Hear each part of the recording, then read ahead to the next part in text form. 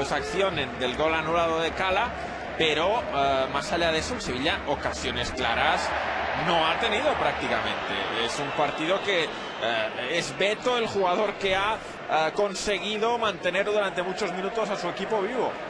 Sale rápido Vitolo al contraataque, la pelota dentro del área. ¡Qué bien Vitolo! ¡Qué bien Vitolo! La pelota.